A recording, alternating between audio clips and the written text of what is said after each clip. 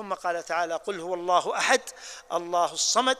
هذه سورة الإخلاص وهي السورة التي تعدل ثلث القرآن. ومعنى قل هو الله أحد يعني الله هو الأحد هو الأحد في ربوبيته وهو الأحد في ألوهيته وهو الأحد في أسمائه وصفاته. فالواجب على كل أحد أن يوحد الله عز وجل التوحيد الأتم والأكمل. وسيأتي مزيد لأنواع التوحيد وبيان لأنواع التوحيد غدا إن شاء الله تعالى. لم يلد ولم يولد.